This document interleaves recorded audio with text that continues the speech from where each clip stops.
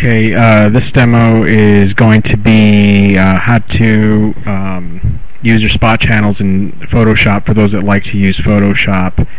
And uh, just to recap on the image that we had corrected earlier, um, we took an image from the internet, um, this image right here, and um, we um, we adjusted the um, the res to 200 it was actually like 92 but it was quite a big image. Um, and the general rule is for any uh, images or images with tone uh, we like to scan them in at 200 uh, to preserve tonality. So we've done that with that image and I'm going to go ahead and open Photoshop and um, we'll get started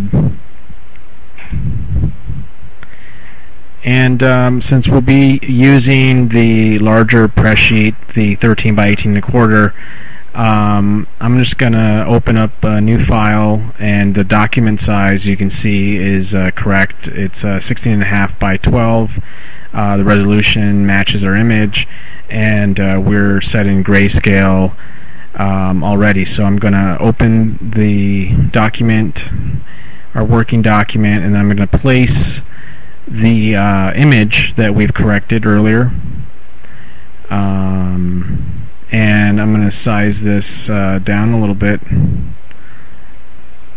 and uh, sort of position it where I'd like. And I'm going to um, go back up here to our mode and we can see that we are in grayscale. We're in 8 bits, which is good. But now we're going to work on multi-channel. I'm going to click that and uh, it asks us uh, flatten layers and we're going to say OK and um, you can see that our channel's um, uh, dialog box is open but in case it wasn't you would just go to window channels and we would have that open. And uh, in the drop menu we're going to create a new spot channel.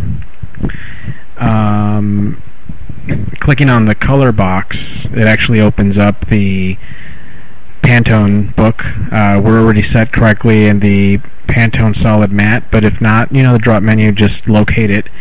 And um, you can go ahead and key in any Pantone that you're working with, um, but just for demo's sake, uh, I'm going to just click on this 3945 and OK that, and as you can see that that has opened up. And I'm going to go ahead and do open up another um, new spot channel and I'm going to click on that and I'm going to get something in the blue area. So I'm going to do the 278 click that and OK it. And so um, when we're on the Pantone um, I'm on my brush tool and you can see um, um we can start mixing on screen.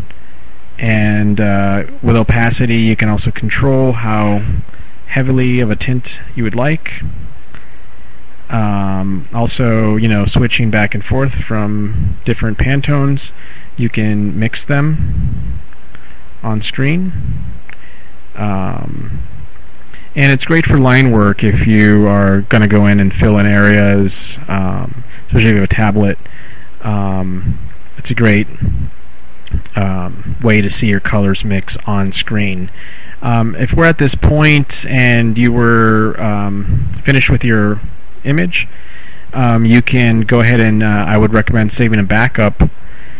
Um, but if uh, and after you've done that, you can actually commit to splitting your channels. So in the same drop menu uh, that you added a channel, you would just click on split channels, and you can see that um, it has uh, split the Pantones into layers. Um, you would just go ahead and save each of these um, as its uh, its own Pantone. Um, you know, save them as TIFFs, and um, that's about it. That's a pretty straightforward way to um, mix your colors on screen um, using Photoshop and the Pantone books. Thanks.